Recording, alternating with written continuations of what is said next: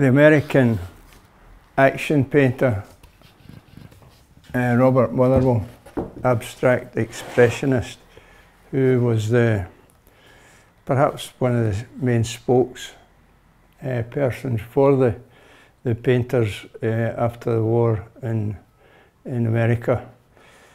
Um, he talked about, in his case, it would be canvas. So you start actually with a white canvas. In this instance, you start. I'm starting with a white piece of paper. Now you work on this piece of paper, which is immaculate, but you try, you kind of dirty it really, and you try and take it full circle back to this perfect state. Of course, you never really managed to do that, but uh, that's, that's the kind of attempt. I suppose as a boy coming from Ayrshire and going to the art school in the 50s, uh, Glasgow was quite a strange, strange place for me. The art school was quite a daunting place, but I loved every moment of it there and couldn't wait for the, the summer holidays to finish to go back. I've grown up with him all my life, so as his painting developed, I, my understanding of his painting developed from sort of early days when he was painting like the H-bomb explosions. His abstracts got better and better, I, I thought. I can't actually remember a time that I didn't know Johnny Taylor really. Johnny and Jackie and I have been friends since the mid 70s, which is uh, 40 years ago, unbelievably. And I think I really got to know Johnny best in about the mid 70s because he was then involved in the print studio. Always a strong part of him is his walking, walking everywhere, unable to sit still. He's a restless kind of spirit. And that extends to walking about the city all the time where he lives. I think he was an artist's artist. You know, um, he, was, he had the most enormous respect from um, other painters um, of all persuasions. I mean, not everybody was an abstract expressionist, but that was what Johnny definitely was at that time. But he still always had this open mind. One of the things I've always liked about, about Johnny is that he's interested in a lot of things, not just painting. I mean, of course, painting, that's his passion, and that's been his life. Johnny did uh, uh, a series of, of crab apples, and uh, I decided for the benefit of this restaurant here to acquire all of them. The first one has got one crab apple, two crab apples, three crab apples, four, and then mysteriously five is missing. And my friend John insists that he never painted five. And I'm quite intrigued about that because I don't know where it is. And I've tried to persuade him that he should maybe do five, but he's not on the crab apple scenario just now. So maybe before it, things eventually if it finish, he might go back to crab apples and I'll get number five. Johnny was a natural choice uh, to do some work with us in collaboration on the lift enclosures and the glass balustrading. And uh, we soon sort of realised that Johnny had some pretty strong ideas about what he would want to represent within that environment. And behind me is an example of the kind of initial sketches. The work was uh, named Fragile. As, as we went through these initial uh, concepts, it was becoming clear there was a technological problem to solve as well. Was Johnny, in his usual way, was totally up for that. So there was a number of visits to the glass manufacturer to establish how we might actually get these kind of markings on the glass.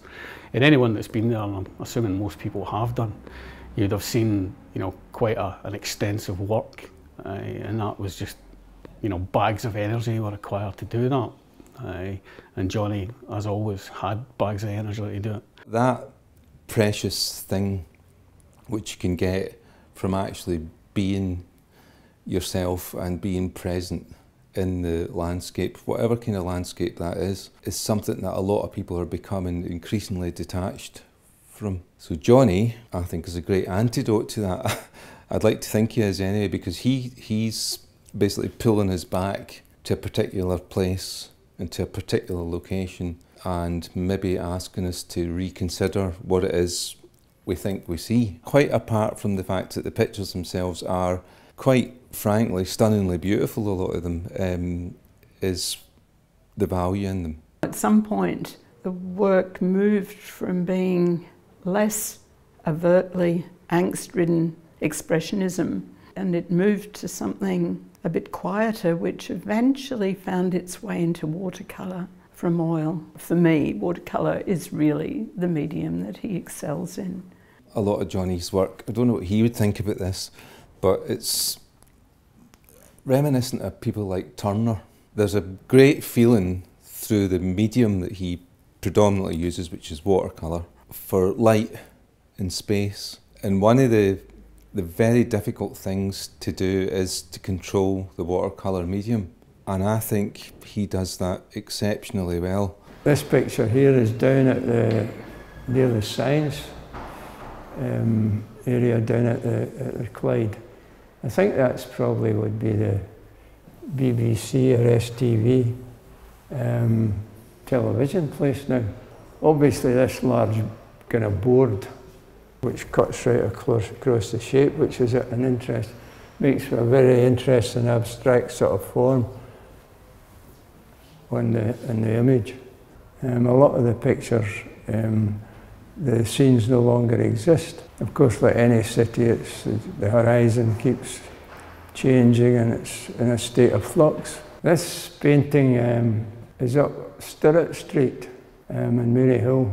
The whole of this area, this is all gone now, and uh, I think there's new, new houses being built. It's very much a sort of dirty old town picture of Glasgow, strong black and white light. And way over in the, in the skyline is actually university.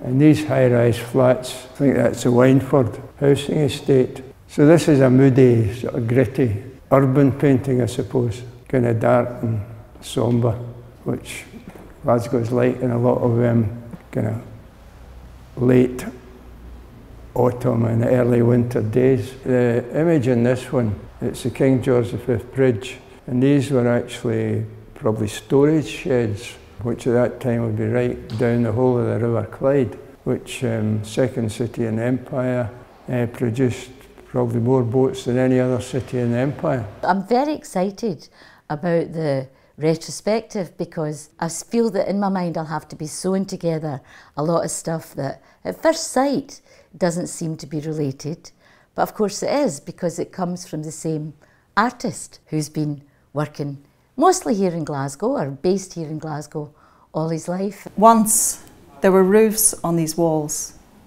men and women, children, voices. Lambs stumble about in the sea fret bleating, bleating. Such sounds as are owned by the world. He was applying for membership to the Scottish Artists Union and we had the form to fill in and there were about maybe nine or ten criteria that, that would ascertain whether you are eligible for membership or not. And you had to tick all these boxes. And he was able to tick all the boxes except one. And that was the one that said he was a member of learned uh, societies and uh, organisations and that he'd been recognised by them. And he's never been embraced by any of these institutions. So I was reminded of that very sharply when I saw this box being left unchecked. The story behind this one, um, when I was taking it to get photographed, is interesting. This is when I met Thatcher. And so I'm walking along the street, and next thing, motorbike riders, boom, boom, boom, drive up in a big black limousine. The famous Margaret gets out in this blue two-piece sort of suit thing, and she walked up right to me when she got out of the car and says, uh, who are you? I says, I'm a painter. And I says, this is one of my pictures. And she says, can I see it? And I foolishly said, no it, but I don't think she would have liked the, the content too, too much anyway, especially when she, like a lot of politicians, are still totally involved in Trident and the continuation of such a nasty, nasty weapon which is redundant and is totally obsolete and is, is so morally unsound. But like Thatcher and Blair and the rest of them, and the present crowd in power. It means we can sit at the top table